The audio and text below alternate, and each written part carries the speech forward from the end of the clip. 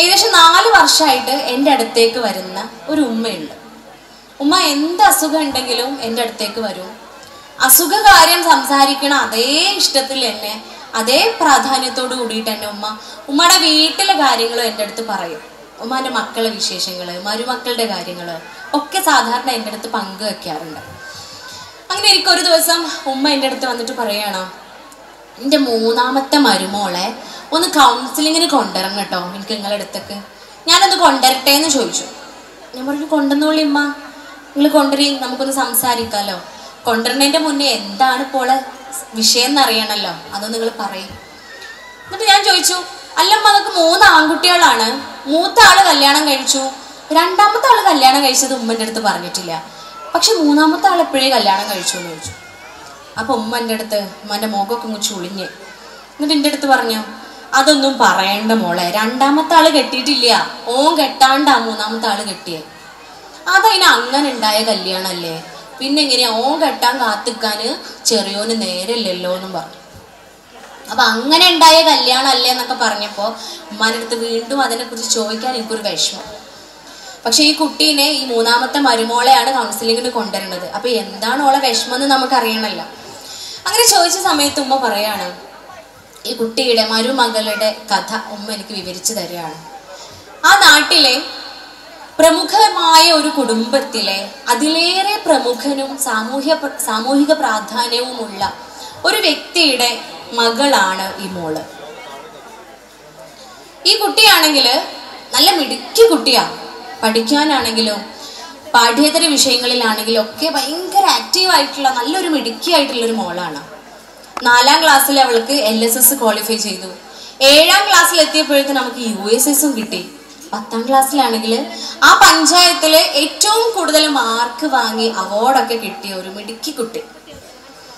അങ്ങനെ ഇവൾക്ക് പ്ലസ് വണ്ണിന് അഡ്മിഷൻ കിട്ടുകയാണ് തൊട്ടപ്പുറത്തെ ഒരു ഗ്രാമത്തിൽ അങ്ങനെ അവൾ അവിടെ സ്കൂളിൽ പ്ലസ് വണ്ണിന് പോയി തുടങ്ങുകയാണ്.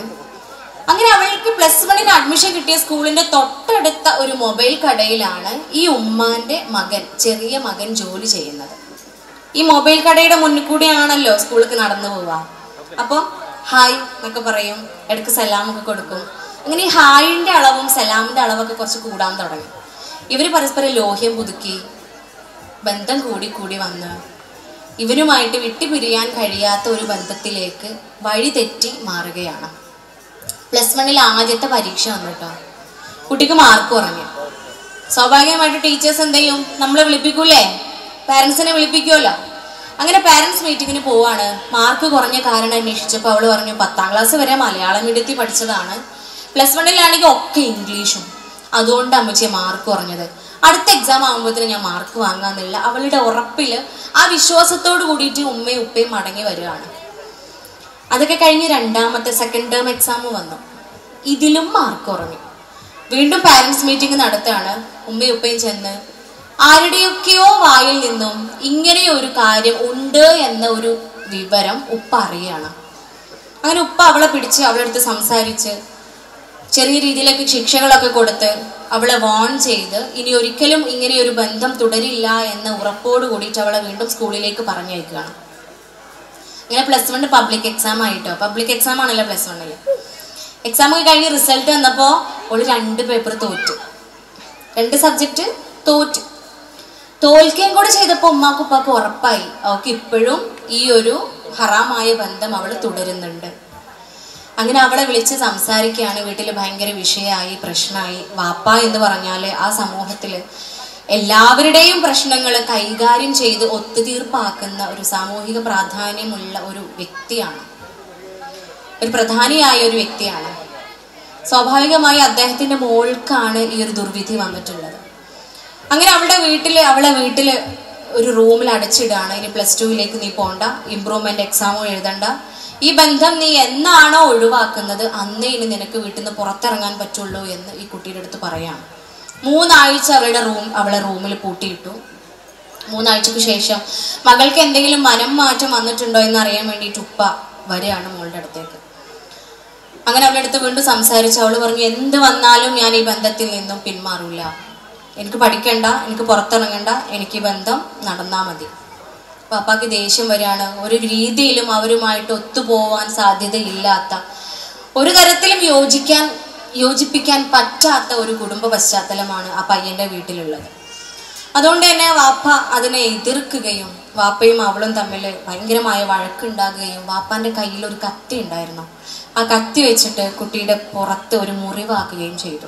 പിറ്റേ ദിവസം ഉമ്മ അവളെയും കൊണ്ട് ഹോസ്പിറ്റലിൽ പോവാണ്. ഹോസ്പിറ്റലിൽ നിന്നും ഉമ്മ കാണാതെ അവൾ ഇറങ്ങിപ്പോയി. ആ പയ്യൻ പുറത്ത് കാത്തിരിക്കുന്നുണ്ടായിരുന്നു. അവളെയും കൊണ്ട് പോവാണ്. പക്ഷെ പതിനെട്ട് വയസ്സായാവാത്ത കുട്ടിയാണ് ഇന്ത്യൻ നിയമപ്രകാരം സ്വന്തം ഇഷ്ടപ്രകാരം വിവാഹം കഴിക്കാനുള്ള അവകാശമായിട്ടില്ല. അവൾ നമ്മുടെ നാട്ടിൽ തന്നെയുള്ള ഒരു ചൈൽഡ് ലൈനിൽ പോയി നിന്ന് ഒരു വർഷം കഴിഞ്ഞ് പതിനെട്ട് വയസ്സായതിനു ശേഷം ആ ചെക്കന്റെ കൂടെ പോയി കല്യാണം കഴിച്ച് ജീവിക്കുകയാണ്. എന്റെ അടുത്ത് കൊണ്ടുവരുമ്പോഴത്തേന് കല്യാണം കഴിഞ്ഞ ഒരു വർഷമായി ഒരു കുട്ടിയായി കുട്ടിക്ക് ആറ് മാസമായതിനു ശേഷം അവളിൽ സ്വഭാവത്തിന് ചെറിയ ചെറിയ പ്രശ്നങ്ങളൊക്കെ കണ്ടത് മൂലം അമ്മായി ഉമ്മ എന്റെ അടുത്തേക്ക് കൊണ്ടുവരികയാണ്. അപ്പോ ഇങ്ങനെ നീണ്ട ഒരു കഥ പറച്ചിലിന് ശേഷം ഈ മോളെ കൊണ്ടുവരാൻ വേണ്ടിയിട്ട് ഞാൻ പറഞ്ഞു. ഒരാഴ്ചക്ക് ശേഷം അവളെ എന്റെ അടുത്തേക്ക് കൊണ്ടുവരികയാണ്. അങ്ങനെ അവൾ വന്ന് എന്റെ അടുത്ത് ഇരുന്ന് ഞാൻ അവളുടെ അടുത്ത് ചോദിച്ചു. നല്ല മിടുക്കി കുട്ടിയായിരുന്നു അല്ലേ? പഠിക്കാനൊക്കെ നല്ല ഉഷാറായിരുന്നു എന്ന് പറഞ്ഞു കേട്ടു. പാഠ്യേതര വിഷയങ്ങളിലും ഭയങ്കര ആക്റ്റീവായിരുന്നു എന്ന് ഉമ്മ എന്റെ അടുത്ത് പറഞ്ഞു. നല്ല മിടുക്കി കുട്ടിയായിരുന്നു. അതിലുപരി ഉമ്മാക്കും ഉപ്പാക്കും ഭയങ്കര സ്നേഹമുള്ള കുട്ടിയായിരുന്നല്ലോ. പിന്നെ എന്താ മോളെ നീ ഇങ്ങനെ ഒരു വഴി തിരഞ്ഞെടുത്തത് എന്ന് ചോദിച്ചു. അപ്പൊ അവൾ ആ കസേരയിൽ എണീറ്റിട്ട് എന്റെ അടുത്തേക്ക് കുറച്ചും കൂടെ അടുത്തിരുന്നു. ആദ്യം ഞാൻ വിചാരിച്ച അവൾ എന്നെ തല്ലാൻ വരികയാണോ കാരണം അങ്ങനത്തെ ഒരു വിഷയമാണല്ലോ കൈകാര്യം ചെയ്യണത്. അവൾ കുറച്ചും കൂടെ എന്റെ അടുത്തേക്ക് അരികിലേക്ക് ഇരുന്നിട്ട് എന്റെ അടുത്ത് പറഞ്ഞു ഡോക്ടർ പറഞ്ഞതൊക്കെ ശരിയാണ്. ഞാൻ നന്നായി പഠിക്കുന്ന ഒരു മോളായിരുന്നു. അതിലേറെ പാഠ്യേതര വിഷയങ്ങളിലൊക്കെ ഞാൻ ഭയങ്കര ആക്റ്റീവ് ആയിരുന്നു. ഞാൻ പാട്ട് പാടുമായിരുന്നു. സ്പോർട്സിൽ എനിക്ക് ഫസ്റ്റ് കിട്ടിയിട്ടുണ്ട്. ഞാൻ നന്നായി ചിത്രം വരക്കുമായിരുന്നു. എഴുതുമായിരുന്നു. എല്ലാ മേഖലയിലും എന്റെതായ ഒരു മുദ്ര പതിപ്പിക്കണമെന്ന് ആഗ്രഹിച്ച് ഒരു ഐ എ എസ് ഓഫീസർ ആവണം എന്ന സ്വപ്നവുമായി പഠിച്ച് വളർന്നു വന്ന ഒരു കുട്ടിയായിരുന്നു ഞാൻ. പിന്നെ എന്താ മോളെ നിനക്ക് പറ്റിയത് എന്ന് ചോദിച്ചു. അവൾ പറഞ്ഞു എന്റെ ഈ സ്വപ്നങ്ങളും കിനാവുകളും ഒക്കെ സാക്ഷാത്കരിക്കണമെന്നുണ്ടെങ്കിൽ അത് യാഥാർത്ഥ്യമാകണമെന്നുണ്ടെങ്കിൽ നമുക്ക് ജീവിക്കാൻ വേണ്ട ഒരു സാധനമുണ്ട് ഓക്സിജൻ. വായു ഓക്സിജൻ. അത് അതില്ലാന്നുണ്ടെങ്കിൽ നമ്മൾ മരിച്ചു എനിക്കും എന്റെ കിനാവുകൾ യാഥാർത്ഥ്യമാക്കാൻ എന്റെ സ്വപ്നങ്ങൾ പൂവണിയിക്കാൻ വേണ്ട ഒരു സാധനം ഉണ്ട് ഡോക്ടറെ. അതെനിക്ക് കിട്ടിയിട്ടില്ല.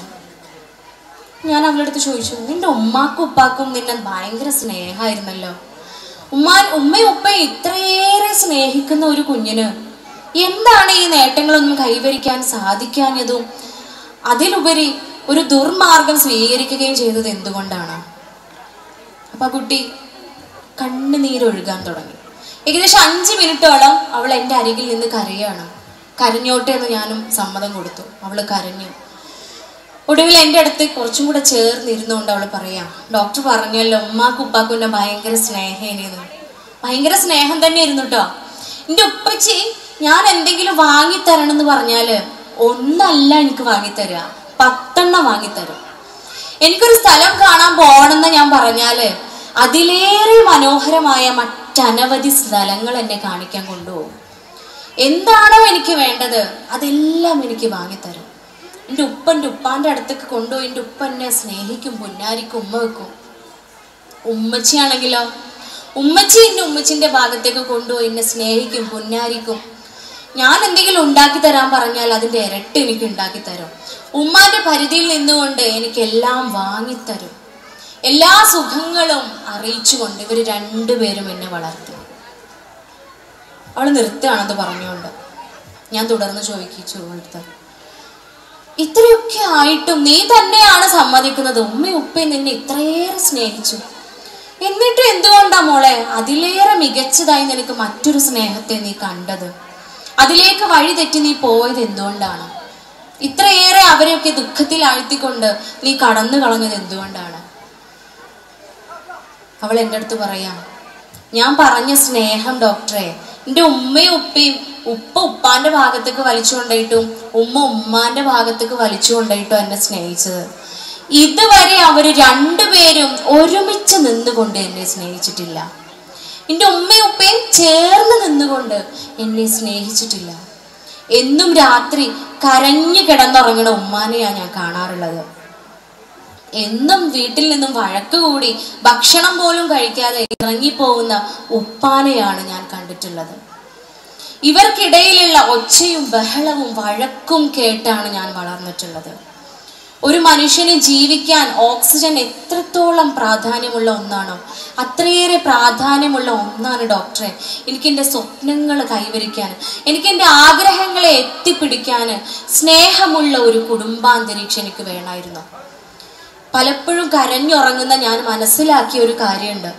എന്റെ ഉമ്മാന്റെ ഉപ്പാന്റെ ഇടയിൽ സ്നേഹം എന്ന് പറയുന്ന വികാരം ഇല്ല. ഒരുപക്ഷെ സ്നേഹിക്കാതെ കല്യാണം കഴിച്ചതുകൊണ്ടാവാം അവരിങ്ങനെ. പിന്നെ എന്തിനാണ് ഞാനും ഇങ്ങനെ ആയിത്തീരുന്നത്? എന്നെ മനസ്സിലാക്കുന്ന എന്നെ സ്നേഹിക്കുന്ന എന്നെ ഉൾക്കൊള്ളുന്ന ഒരാളെ ഞാൻ കണ്ടപ്പോ അയാളടുത്ത് എനിക്ക് സ്നേഹം തോന്നിയതിൽ അയാളെ സ്നേഹത്തിലേക്ക് ഞാൻ ആകൃഷ്ടയായത് ആ സ്നേഹത്തിന് വേണ്ടി ഞാൻ കടന്നു കളഞ്ഞത് തെറ്റാണോ ഡോക്ടർ എന്ന്? എണീറ്റ് നിന്നിട്ട് എന്റെ മുഖത്തേക്ക് വിരൽ ചൂണ്ടി അവൾ ചോദിക്കുകയാണ്. കുറച്ചു സമയം ഞാനും സ്തബ്ധയായി പോയി. വാക്കുകൾ ഇല്ലാതെയായി പോവാണ്. എന്ത് പറഞ്ഞായിരുന്നു ഞാൻ ഈ കുട്ടിയെ സമാധാനിപ്പിക്കേണ്ടത്? എന്ത് പറഞ്ഞാണ് ഞാൻ ഈ കുട്ടിയെ തിരിച്ച് സമാധാനത്തിലേക്ക് കൊണ്ടുവരേണ്ടത് എന്ന ഒരു ചോദ്യചിഹ്നം എന്റെ മുന്നിൽ ഇങ്ങനെ കിടക്കുകയാണ്. ഇത് ഒരു അനുഭവം. ഇനി രണ്ടാമത്തത് നിങ്ങളൊക്കെ ഇവിടെ ഉണ്ടല്ലോ അല്ലേ? ഉണ്ടോ? ഹലോ? ഒന്ന് കൈയടിച്ചാണ് പോരട്ടോ. ഒന്നും കൂടെ? ആ ഇപ്പൊ കടലിൽ ചെറിയൊരു ഓളൊക്കെ ഉണ്ടായി. അപ്പൊ നിങ്ങളൊക്കെ ഇവിടെ ഉണ്ട്. ഇനി രണ്ടാമത്തെ കേട്ടോ. കുറച്ച് ദൂരെ നിന്ന് വരികയാണ്. പത്തൊൻപത് വയസ്സായ ഒരു മോളും ഉമ്മയും ഉപ്പയും അനിയനും അനിയത്തി ഞാൻ എന്റെ ക്ലിനിക്കിലേക്ക് കയറി വരുമ്പോൾ കാണുന്നത് ഞാൻ എത്തുന്നതിന്റെ ഏകദേശം ഒരു പത്ത് മിനിറ്റ് മുന്നേ ഇവർ വന്നിട്ടുണ്ട്. ക്ലിനിക്കിൽ പുറത്ത് ഇവരെന്നെ കാത്തിരിക്കുകയാണ്.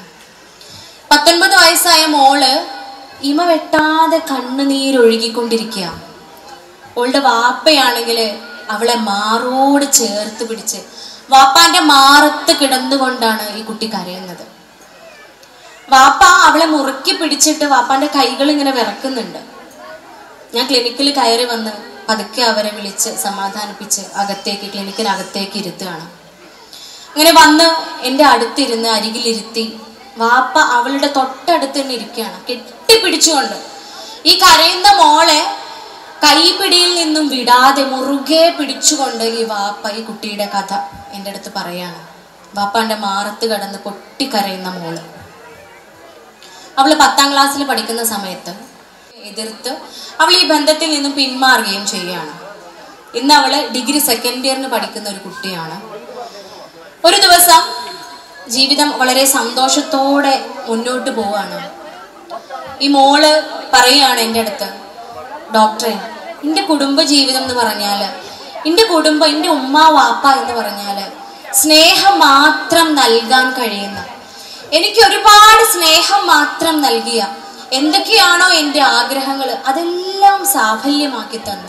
ഞങ്ങളുടെ ഇഷ്ടങ്ങൾ എങ്ങനെയാണോ അതുപോലെ ഞങ്ങൾക്ക് വേണ്ടി ജീവിച്ച പരസ്പരം അങ്ങേയറ്റം ജീ സ്നേഹിച്ച് ജീവിച്ച് കാണിച്ചു തന്ന ഉമ്മയുപ്പയാണ് ഇത്രയേറെ അസൂയയോടെ ഒരാൾ നോക്കുന്ന വിധം കുടുംബജീവിതം നയിച്ച ഒരു ഉമ്മയും ഉപ്പയുമുള്ള അവരുടെ ഒരു മോളാണ് ഈ കുട്ടി.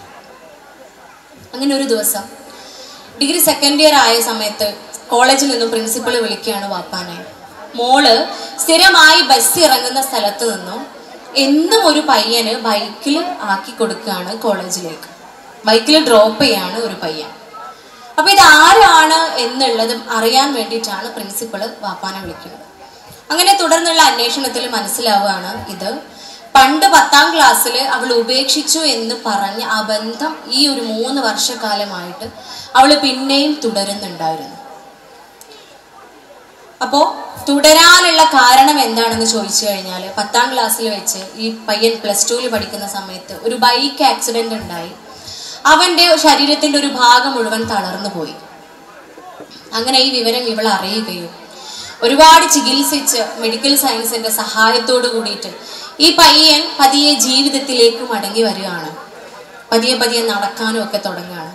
ഈ ഒരു സഹതാപത്തിൽ നിന്നാണ് ഈ കുട്ടിക്ക് വീണ്ടും ഈ ഒരു ബന്ധം ഉണ്ടാവാനുള്ള സാഹചര്യം ഉണ്ടാവുന്നത്.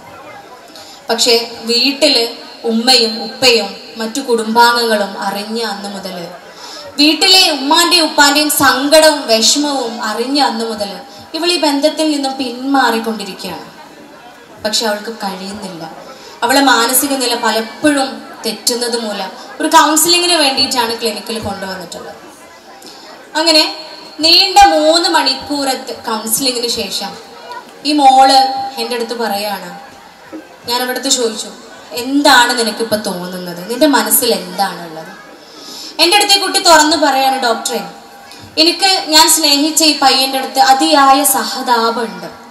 കാരണം ജീവിതത്തെ വലിയൊരു മരണം മരണത്തെ പോലും മുന്നിൽ കണ്ടുകൊണ്ട് അതിൽ നിന്നും ദൈവസഹായത്താൽ തിരിച്ചു വന്ന ഒരു പയ്യനാണ്. അവന് പലപ്പോഴും അതിന് ഞാനും കൂടെ കാരണക്കാരിയായിട്ടുണ്ട്. പക്ഷേ അതിലേറെ എനിക്ക് സ്നേഹം തന്ന അതിലേറെ എന്നോട് കാരുണ്യം കാണിച്ച. എങ്ങനെയാണ് സ്നേഹിക്കേണ്ടത് എന്ന് എനിക്ക് പഠിപ്പിച്ചു തന്ന എന്റെ ഉമ്മയും ഉപ്പയുമാണ് എന്റെ കൂടെയുള്ളത്. ഞാനൊന്ന് നോവ് എനിക്കൊന്ന് നൊന്താൽ എന്റെ കണ്ണൊന്ന് നിറഞ്ഞാൽ എന്റെ മേലിലൊരു മുറിവുണ്ടായാൽ എനിക്കൊരു അസുഖം വന്നാൽ എന്നിലേറെ സങ്കടപ്പെടുന്ന. എന്റെ വലതും ഇടതും ഇരുന്ന് ഒരുപോലെ ദുഃഖിക്കുന്നവരാണ് എന്റെ ഉമ്മയും ഉപ്പയും. എനിക്കവരെ സങ്കടപ്പെടുത്താൻ കഴിയൂല. കാരണം ഒരുമിച്ച് നിന്ന് എന്നെ സ്നേഹിക്കുന്നവരാണ് അവർ. അവർക്ക് വേണ്ടിയിട്ട് ഞാൻ കുറച്ച് സങ്കടപ്പെട്ടോട്ടെ. ഞാൻ കുറച്ചു കാലം ഒന്നോ രണ്ടോ വർഷം അല്ലെങ്കിൽ മൂന്നോ നാലോ വർഷം എനിക്ക് ദുഃഖം ഉണ്ടായേക്കാം. പക്ഷെ എന്റെ ഉമ്മാനും ഉപ്പാനെ സങ്കടപ്പെടുത്താൻ ഞാൻ തയ്യാറല്ല. അതിനുവേണ്ടി എന്ത് ത്യാഗവും സഹിക്കാൻ ഞാൻ തയ്യാറാണ്. എന്നും പറഞ്ഞ് ആ ഒരു സന്തോഷ വാർത്ത ഉപ്പാനെ അറിയിച്ചുകൊണ്ട് സന്തോഷത്തോടെ അവർ ക്ലിനിക്കിൽ നിന്നും ഇറങ്ങി പോവാണ്. രണ്ട് കഥ നിങ്ങൾ കേട്ടോ? കേട്ടോ? രണ്ട് അനുഭവങ്ങളും നിങ്ങൾ കേട്ടിട്ടുണ്ടാവും. ഇത് ഇവിടെ ഈ ഒരു കുടുംബത്തിൽ പറയാൻ കാരണം നമ്മുടെയൊക്കെ സ്വർഗം എന്ന് പറയുന്നത് ആരാ? നമ്മളെ കുട്ടികളല്ലേ? ഈ മുന്നിലുള്ള നമ്മുടെ മാണിക്യക്കല്ലുകളാണ്. അല്ലേ? വിവാഹം കഴിഞ്ഞ് ഒരു കുഞ്ഞിന് ജന്മം നൽകുകയാണ് എന്ന സന്തോഷ വാർത്ത അറിയുന്നത് മുതൽ നമ്മുടെ കിനാവും സ്വപ്നവും ആശങ്കയും ഒക്കെ നമ്മളെ കുഞ്ഞുങ്ങളാണ് നമ്മളെ കുട്ടികളാണ്. കൺകുളിർമയേകുന്നവരാണ്. അല്ലെ? ഖുർആാനിൽ പറയുന്ന പ്രാർത്ഥന അതാണ്. കൺകുളിർമയേകണമേ എന്ന് പ്രാർത്ഥിക്കാൻ പറഞ്ഞിട്ടുള്ളത്. കണ്ണിന് കുളിരേകുന്ന മക്കളായി മാറണമേ. അവരിലാണ് നമ്മുടെ സ്വർഗം അവരിലാണ് നമ്മുടെ സ്വപ്നം. ഈ മക്കൾ സങ്കടപ്പെടുമ്പോൾ ഈ മക്കൾക്ക് വിഷമം ഉണ്ടാകുമ്പോൾ ഈ മക്കൾ ദുർബാധയിലൂടെ സഞ്ചരിക്കുമ്പോൾ അവരിലേറെ സങ്കടപ്പെടുന്നത് നമ്മളാണ്. നമ്മുടെ സ്വർഗത്തിന്റെ കവാടം അവിടെ കൊട്ടിയടക്കപ്പെടുകയാണ് ഈ രണ്ട് കുടുംബങ്ങളിൽ ഉണ്ടായ ഈ രണ്ട് കുടുംബങ്ങളിലെയും അനുഭവം ഒരേ സാഹചര്യത്തിലൂടെ രണ്ട് കുടുംബവും കടന്നുപോയത്. പ്രായത്തിന്റെ പക്വത കുറവ് മൂലം അല്ലെ? ടീനേജ് എന്ന് പറഞ്ഞാൽ കൗമാരപ്രായം എന്ന് പറഞ്ഞാൽ ഒട്ടുമിക്ക കുട്ടികളിലും ഉണ്ടാവാൻ സാധ്യതയുള്ള ഒരു കാര്യമാണ് ഈ ഒരു അഫെയർ എന്ന് പറയുന്നത്. പക്ഷേ യഥാസമയം അത് കണ്ടെത്തി അതിനെ ഇല്ലാതാക്കുക അല്ലെങ്കിൽ കൈകാര്യം ചെയ്യേണ്ട രൂപത്തിൽ അതിനെ കൈകാര്യം ചെയ്യുക എന്നിടത്താണ് ബുദ്ധിയുള്ളത്. ഈ രണ്ട് സംഭവങ്ങൾ ഓർത്തു നോക്കൂ. ഒരുപോലെ രണ്ട് പെൺകുട്ടികളിലും ഒരുപോലെ ഉണ്ടായ രണ്ട് സംഭവങ്ങൾ. അതിൽ ആദ്യത്തേത് ആ കുടുംബത്തിന്റെ എല്ലാ സമാധാനവും നശിപ്പിച്ച് ഉമ്മാക്കും ഉപ്പാക്കും അതെ ആ മോൾക്കും അതെ. രണ്ടുപേർക്കും ഒരുപോലെ സമാധാനമില്ലാത്തൊരവസ്ഥയിലേക്ക് എത്തുകയാണ് രണ്ടാമത്തെ കുടുംബത്തിലോ ഇതേ സാഹചര്യത്തിലൂടെ തന്നെ അവരും കടന്നുപോയത്. പക്ഷേ ഒരു മുള്ള് കാലിന് കുത്തിയ ഒരു മുള്ള് എത്ര ലാഘവത്തോടെയാണോ നമ്മൾ എടുത്തു കളയുക. ഇല്ലേ? നമ്മൾ കുട്ടികളോട് പറയും ആ പച്ച പുല്ലുക്ക് നോക്കി നിന്നോ? വേദന അറിയില്ല. അമ്മച്ചി മെല്ലെ എടുത്തരാ. ഓളെ പച്ച പുല്ലിക്ക് നോക്കുമ്പോഴത്തേനും നമ്മൾ മുള്ളെടുത്ത് കളഞ്ഞിട്ടുണ്ടാവും. അത്ര ലാഘവത്തിലാണ് ആ കുട്ടിയിൽ നിന്നും ആ ബന്ധത്തെ മുള്ളെടുത്ത് മാറ്റുന്നത് പോലെ മാറ്റിയത്. അതിന് കാരണം എന്തായിരുന്നു എന്നറിയോ ഇവരുടെ രണ്ടുപേരുടെയും കുടുംബ സാഹചര്യമാണ്. ആദ്യത്തെ കുട്ടിക്ക് കിട്ടാത്ത ഉമ്മയും ഉപ്പയും തമ്മിലുള്ള ആ പരസ്പര സ്നേഹമാണ് രണ്ടാമത്തെ കുട്ടിയെ ഈ ഒരു കറയിൽ നിന്നും മാറ്റിയത്. ഉമ്മയും ഉപ്പയും തമ്മിലുള്ള പരസ്പര സ്നേഹമാണ് ഈ കുട്ടിയെ ആ ചതിക്കുഴിയിൽ നിന്നും രക്ഷപ്പെടുത്തിയത്. നമ്മളൊക്കെ സമ്മാനം കൊടുക്കൂലേ കുട്ടികൾക്ക്? ഇല്ലേ? നമുക്കൊരാളോട് ഇഷ്ടം തോന്നി നമ്മൾ സമ്മാനം കൊടുക്കൂലേ? ഉമ്മാക്ക് വല്യമ്മക്ക് ഒക്കെ നമുക്ക് ഇഷ്ടം തോന്നുമ്പോൾ ഉമ്മാനോട് പറയാതെ അല്ലെങ്കിൽ വല്യമ്മാനോട് പറയാതെ ഒരു തുണിയും കുപ്പായൊക്കെ വാങ്ങിക്കൊടുക്കും നിങ്ങൾ ഈ തുണിയും കുപ്പായത്തിനൊക്കെ എന്താ കാസർഗോഡ് പറയാ? കച്ചയും? എന്നങ്ങനെയൊക്കെ പറയുമോ എന്താ? ഡ്രസ് ആ. തുണിയും കുപ്പായം തന്നെ പറയാ? ആ തന്നെയാ പറയാ. പക്ഷെ ഇങ്ങനത്തെ കുറെ മാറ്റം ഉണ്ടല്ലോ അല്ലേ? ഇവിടെ ഇങ്ങനെ ഒരു ബട്ടണോ അതിലൊരു മാലയൊക്കെ തൊക്കൂലേ നമ്മളെ മലപ്പുറത്ത് അതൊന്നുമില്ല കേട്ടോ. ഭംഗിയാണ്. ഇവിടുത്തെ വല്യമ്മമാരെ കാണാൻ പോലും സുന്ദരികളാണ്. അല്ലേ? അല്ലമ്മമാരെ നിങ്ങളൊക്കെ സുന്ദരികളല്ലേ? അല്ലേ? ആണോ? അങ്ങക്ക് തന്നെ ഒരു വിശ്വാസമല്ല അത്രയൊക്കെ സുന്ദരികളാ.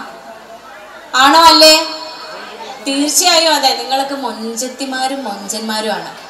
അപ്പോ ഈ മൊഞ്ച നിലനിർത്തണം നമുക്ക് അല്ലേ? അപ്പൊ അതിനുവേണ്ടി നമ്മൾ സമ്മാനങ്ങൾ കൊടുക്കും. അതുപോലെ നമ്മൾ കുട്ടികൾക്ക് സമ്മാനങ്ങൾ കൊടുക്കും. അവർക്ക് ഇഷ്ടമുള്ള സാധനങ്ങൾ അവർക്ക് ഇഷ്ടമുള്ള കാര്യങ്ങളൊക്കെ വാങ്ങിക്കൊടുത്തുകൊണ്ട് നമ്മൾ സമ്മാനം കൊടുക്കലുണ്ട്. ഇത് നമ്മൾ കുട്ടികൾക്ക് ഈ സ്വർഗം നിർമ്മിക്കാൻ നമ്മുടെ കണ്ണിലെ നമ്മുടെ കണ്ണിന് കുളിരായി മാറാൻ കുട്ടികൾക്ക് കൊടുക്കേണ്ട മൂന്ന് സമ്മാനങ്ങളാണ് ഞാൻ നിങ്ങളുടെ അടുത്ത് ഷെയർ ചെയ്യാൻ പോകുന്നത്. അതിൽ ആദ്യത്തേതാണ് ഇത്ര നേരം പറഞ്ഞു വെച്ച സ്നേഹമുള്ള കുടുംബാന്തരീക്ഷം. എന്താണ്? സ്നേഹമുള്ള കുടുംബാന്തരീക്ഷം അല്ലെ? എന്താണുള്ളത്? എന്താണ്? സ്നേഹം. അപ്പൊ സ്നേഹം എന്ന് വെച്ചാൽ എന്താ? സ്നേഹം എന്ന് പറഞ്ഞാൽ എന്താണ് പറഞ്ഞോളി. കൈൻഡ്നെസ് മോൾ പറഞ്ഞേ അമ്മാരെ നിങ്ങൾ മോശമാക്കാൻ പാടില്ല കേട്ടാ. എന്താണ്? സ്നേഹം പറഞ്ഞാൽ എന്താ? അതിപ്പോ എങ്ങനെയാ പറയാ? അങ്ങനെയല്ലേ? അതിപ്പോ എങ്ങനെയാ അവളെ പറയാ? മൈക്കും പിടിച്ച് സ്നേഹം എന്താ? സ്നേഹം എന്താന്ന് വെച്ചാൽ അത് പറയാൻ കഴിയുമോ കഴിയൂലല്ലോ ഇതുപോലൊരു വേദിയിൽ എന്താ സ്നേഹം എന്ന് ചോദിച്ചപ്പോ മുന്നിൽ ഇരുന്ന ഒരു ഉമ്മന്റെ അടുത്ത് ചോദിക്കുക എന്നാ അന്നോടൊരു ചോദ്യം ചോദിക്കട്ടെ? പ്രസവ വേദന എന്ന് പറഞ്ഞാൽ എന്താ? ഞാൻ പെട്ടോ? കുടുങ്ങിയില്ലേ? പറഞ്ഞു കൊടുക്കാൻ കഴിയുമോ പറഞ്ഞു കൊടുക്കാൻ കഴിയില്ലല്ലോ. അത് ഞാൻ പറഞ്ഞു അത് ഉമ്മ നമുക്ക് പറയാൻ കഴിയുന്ന കാര്യമല്ലല്ലോ അത് നമ്മൾ അനുഭവിക്കണതല്ലേ. ആ എന്നാ ഇതും അതന്നെ. എന്നാൽ സ്നേഹവും അതന്നെയാ. അത് പറഞ്ഞു കൊടുക്കാൻ കഴിയില്ല. അത് അനുഭവിക്കാനുള്ളതാണ്.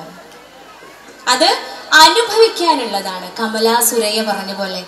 ഞാൻ മരിച്ചതിന് ശേഷം എന്റെ കല്ലറയിൽ ആരും പൂവ് കൊണ്ടുവന്ന് വെക്കരുത് കേട്ടോ മാധവിക്കുട്ടി പറയാണ് മരണശേഷം എന്റെ കല്ലറയിൽ ആരും പുഷ്പങ്ങൾ കൊണ്ട് വെക്കരുത് പക്ഷെ ജീവിച്ചിരിക്കുമ്പോ എനിക്ക് തന്നോളി. നിങ്ങൾക്ക് എന്നോട് സ്നേഹമുണ്ട് എന്ന് ജീവിച്ചിരിക്കുമ്പോൾ എനിക്കൊരു പൂവ് തന്നാൽ എനിക്ക് മനസ്സിലാവും. എന്നോട് ഇഷ്ടമുണ്ട് കേട്ടോ മരിച്ചു കഴിഞ്ഞിട്ട് ആ കല്ലറയിൽ പൂവ് കൊണ്ടുവന്ന് വെച്ചാൽ ഞാനത് അറിയുമോ ഞാൻ മരിച്ചു കഴിഞ്ഞില്ലേ? എന്റെ ശരീരം തണുത്തു പോയില്ലേ? എന്റെ ചൂട് ഇല്ലാതായില്ലേ? സ്നേഹം ഞാൻ അറിയുന്നില്ല. അതുകൊണ്ട് ആ സ്നേഹം നമ്മൾ കൊടുക്കണം. എപ്പോ? എപ്പോ? ജീവിച്ചിരിക്കുമ്പോ. അപ്പൊ നമ്മളൊക്കെ കുടുംബങ്ങളാണ്. കുടുംബം എന്ന് പറഞ്ഞാൽ ഇണകളിലൂടെ തുടങ്ങുന്നത്. അല്ലെ? രണ്ടുപേര് വ്യത്യസ്ത കുടുംബങ്ങളിൽ ജീവിച്ചു വന്ന വ്യത്യസ്ത ഇഷ്ടാനിഷ്ടങ്ങളില്ല വ്യത്യസ്ത രണ്ടുപേര് നിക്കാഹ് എന്ന് പറയുന്ന പവിത്രമായ കർമ്മത്തിലൂടെ ഒന്നു ചേരുകയാണ്. ഒരേ ഇഷ്ടങ്ങളാ